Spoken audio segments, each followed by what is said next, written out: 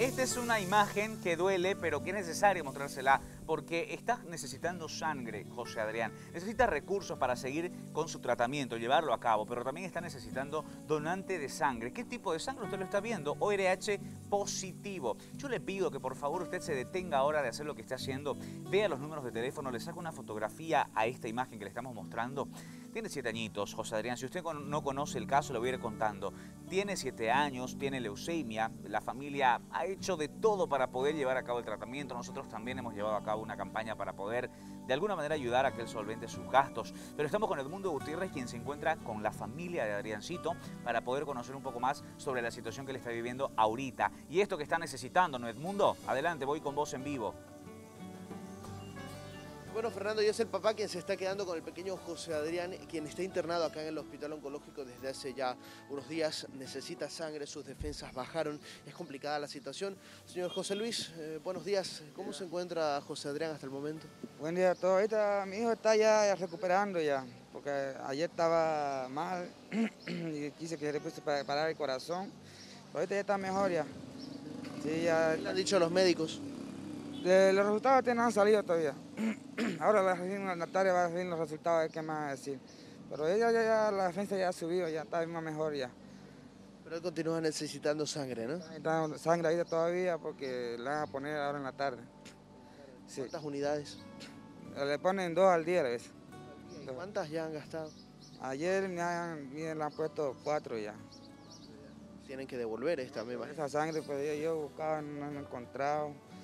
Fue a buscarla a mi tío, no lo pillé en su trabajo. Ahorita estoy sin teléfono, no hay cómo comunicarme con él.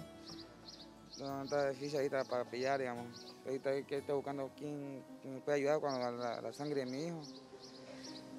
¿Él, está consciente hasta el momento? ¿Sabe lo que está sucediendo? Sí, él sabe qué es lo que está sucediendo. Él me dice, está bien papi, me está ahí, mire, está tristón ahorita, está triste porque no es su madre, porque más se queda con su madre, ahorita, ahorita no puede su madre porque está, le dio COVID. ¿Está con COVID su mamá? ¿Salió positivo? Sí, positivo el COVID, yo me quedé, me hicieron la prueba ayer y yo salí negativo.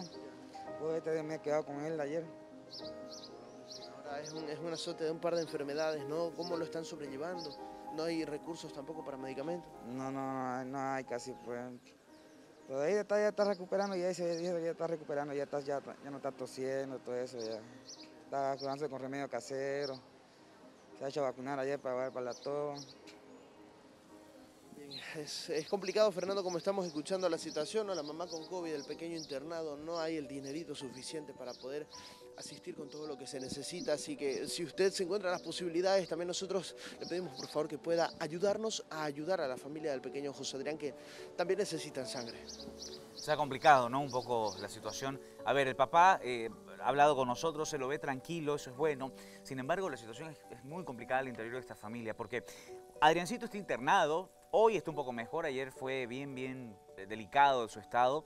La mamá está con COVID también, entonces entenderá usted que hay una maraña de situaciones allí y nosotros tenemos que intervenir. Nosotros, usted que nos está viendo, ayudando, llamando, diciendo que necesita un tal medicamento, tal cosa, sangre, si es que usted es del mismo tipo que él está necesitando, que es ORH positivo. ¿Sabe por qué? Porque hay que reponer las unidades que hasta el momento se le han dotado a Adrián. Entonces yo le pido que por favor usted que esté en su casa, usted que tiene la posibilidad de ayudar con 10, 20 bolivianos, lo que sea, porque en una situación como esta, sabe, cualquier ayuda va a ser bienvenida. Por eso le pedimos y recurrimos a usted y no nos cansamos de mostrar este caso. La mamá con COVID, Adriancito eh, ya un poco mejor, pero igualmente está internado, necesitando esta unidad de sangre, el papá tratando de ver qué hacer para conseguir dinero, mientras que cuida también a Adrián y al otro pequeño que tienen, porque no es el único hijo, Adrián, tienen otro hijito más chico, y todo esto pasa en medio de las fiestas de fin de año. Por eso es que queremos apelar a ese corazón solidario que tiene usted para poder llegar a ayudar a Adrián. Gracias Edmundo Gutiérrez, vamos a volver en cualquier momento contigo